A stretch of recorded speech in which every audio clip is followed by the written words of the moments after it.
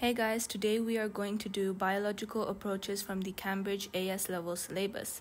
Now, biological approaches has three main studies in it, and the first one is by Dement and Kleitman, and this talks about dreams and sleep. So basically, in the Cambridge AS level syllabus, there are four main approaches that you're supposed to learn, and each approach has its main assumptions. So Cambridge requires you to learn the main assumptions of each approach, and this is questioned on the CIE exam. You can be asked, give two main assumptions of biological approaches. So you're supposed to know at least two main assumptions of each approach. So for biological approach, I've given two assumptions. First is that our behaviors, emotions, they're all like explained by the effect of our hormones, genetics, and evolution. The second main assumption is that similarities and differences between people, how are they understood? So they are understood by biological factors and their interaction with other factors. The interaction of biological factors with other factors. Now, moving on, for each study, not just Dement and Kleitman, for each study, you're supposed to know eight things. That is the psychology being investigated, the background. Background is questioned in the exam. You can be asked that tell the background of this study. Then thirdly, the aim, research, methodology, procedure, results, evaluation, and ethical issues. So let's start off with the psychology being investigated. What was the psychology being investigated in Dement and Kleitman's study? There were two things being investigated sleep and dreams. So, what is sleep? Sleep is an altered state of consciousness, and there are five stages, which is found by researchers that there are five stages. Now, stage one to four are non rapid eye movement sleep stages, and your fifth stage is the rapid eye movement stage.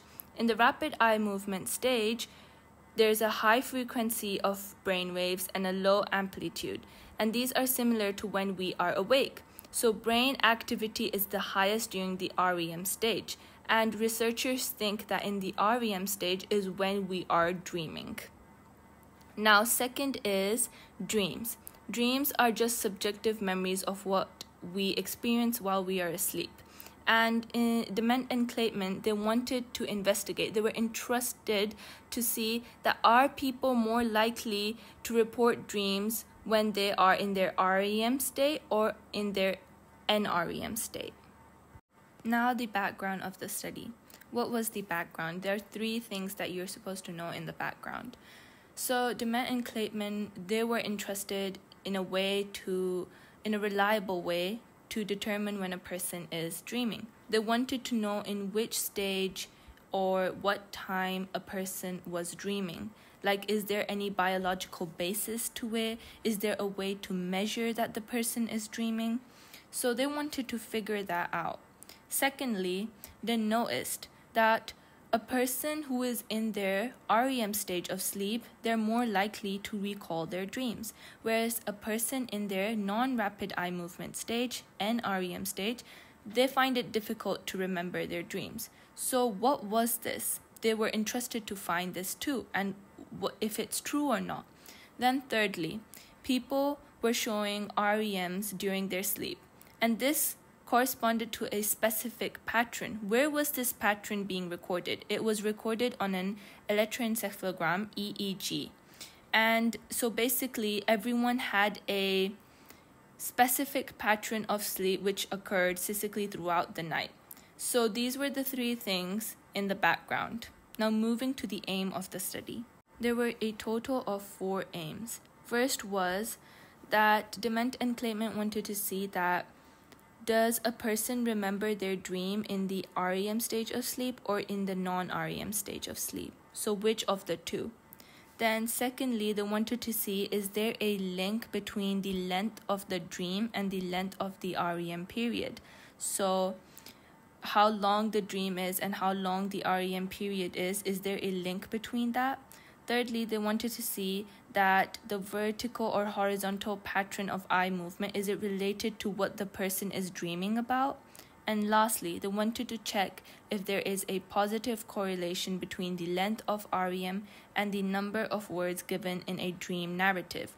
That is what how the person is describing what happened in their dream. So does it has a positive correlation with the length of the REM period?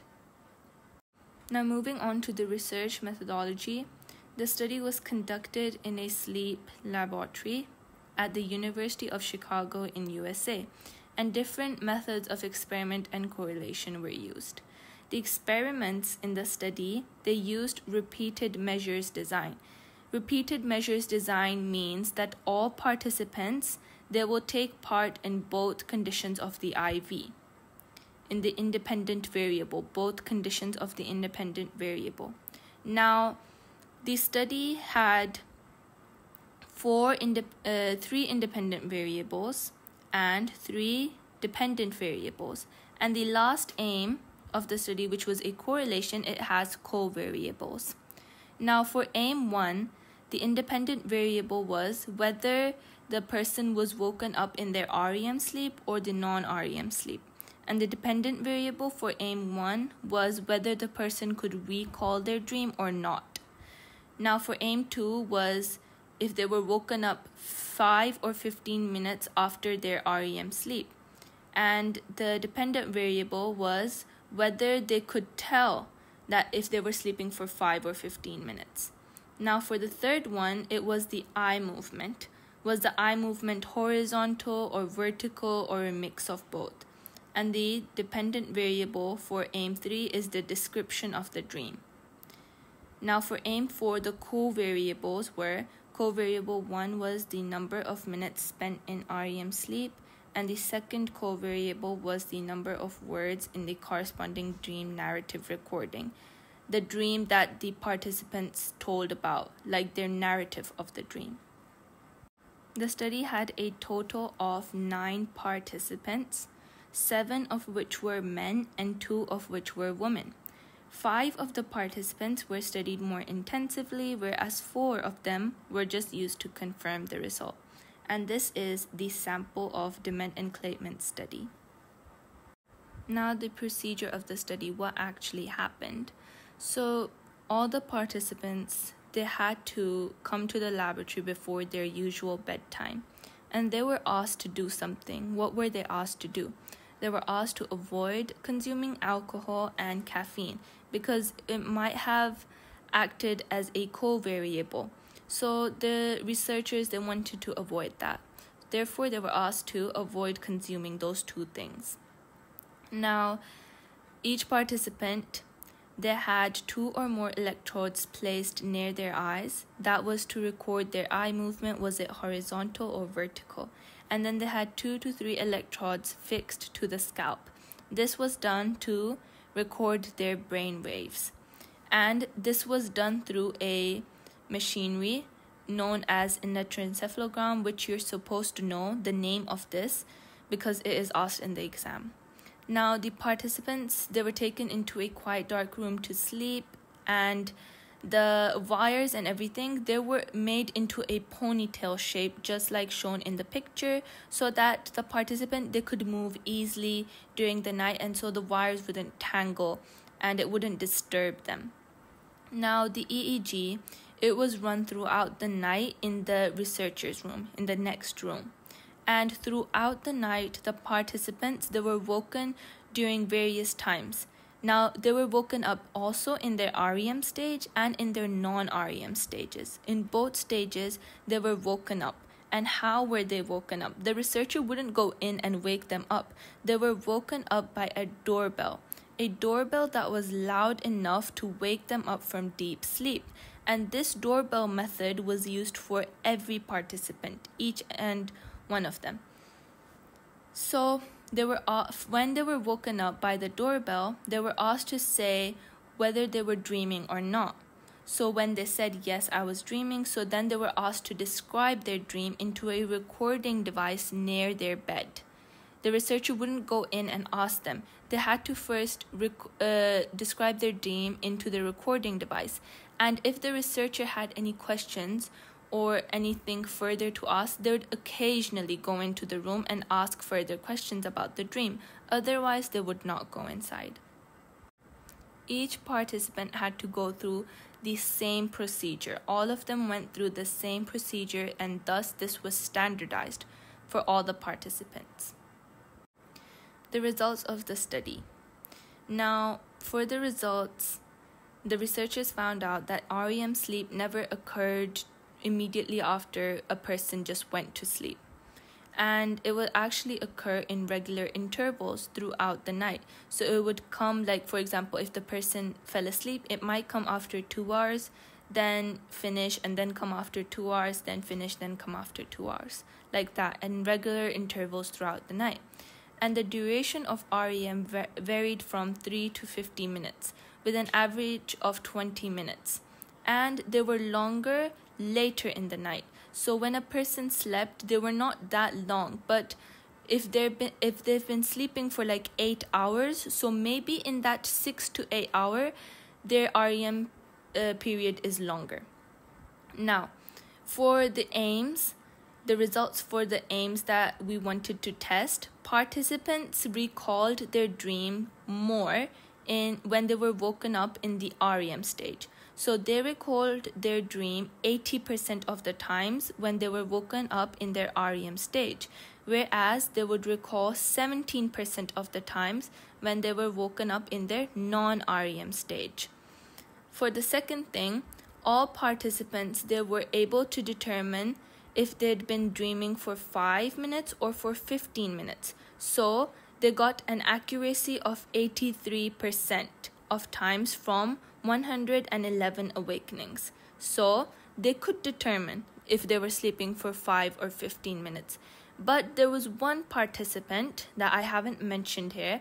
There was one person who was under or overestimating their time, so they couldn't really know whether it was 5 or 15 minutes, and they weren't really included in the study then. Now, for the eye movements, there was vertical eye movements, horizontal eye movements, little or no eye movements, and mixed eye movements. So you need to learn one dream of each eye movement. For vertical eye movement, uh, dreamers said they were looking at climbers going on a cliff or climbing ladders or throwing a basketball. For horizontal, they watched two people throwing tomatoes at each other. For little or no eye movement, they report uh, they reported driving a car. For mixed eye movement, there was a group of people talking or they were searching for something or fighting with someone. Now, for the last aim, there was a positive correlation between the REM and number of words in the dream narrative, and the average correlation coefficient was plus 0.58 and you are supposed to learn this and you can give this in your answers in the exam. Now for the evaluation, there are strengths and weaknesses. As for the strengths of Dement and Kleitman study, it was high in reliability. Why? Because there's a high level of standardization, meaning all the participants went through the same procedure. And thus, you can get a new sample and you can do the exact same study Dement and Kleitman did on that new sample. Thus, the study is replicable and you can test the study for reliability. Secondly, the study is high in validity. Why? Because the participants were telling their dream in a recording device, not to the experimenter. Thus, the experimenter did not influence their dream narrative, and the, it is free from experimenter effects, thus, high in validity. Uh, thirdly, objectivity. More quantitative data was used and this avoided researcher bias. An EEG was used, and an electroencephalogram was used, and thus this made little subjective interpretation by researchers. This is important because subjectivity basically means like opinions or like feelings and stuff, and this makes a study weaker because it's not based on actual factual objective stuff. Then, lastly, generalizability generalizability was high and good because the results were similar to other studies of uninterrupted sleep. And secondly, the psychological process of REM and non-REM sleep is the same for everyone. So thus you can uh, apply the study to everyone else or the, all the population around. Now why is this study weak? Why does it has weaknesses? For the weaknesses, it was low in validity. Why? That was because there was loss of some dream recordings because some participants when they were talking in the dream recorder that was next to their bed they were mumbling so they discarded those recordings however they could have had something important in it so they're therefore not valid and then weakness was uh, the definition of dream length was operationalized. Because uh, and this is a weakness because everyone has a different vocabulary or how verbal they are. So maybe based on that they described their dream. So that may not be a right way to like compare it with the length of REM period and the dream narrative. Therefore low in validity it also lacked ecological validity because the experiment took part in a laboratory and not in a real life situation so people could have acted different, they could have been annoyed with the EEG on their head or acted different because they didn't have coffee or alcohol, which they might usually have. So their sleep might have been different from what they usually their sleep usually is. And lastly, it lacked generalizability. It was because there were only nine participants, a very small sample size, and there were more men than women. So, therefore, a gender bias situation here as well. And all these uh, all these individuals they wanted to participate in the study. So, what about those who didn't want to participate? Their results matter too. Now, the last thing to know is the ethical issues. The ethical issues are actually positive, and that is because confidentiality was maintained no one's name was used their initials were actually used when discussing their results, which kept their identity hidden.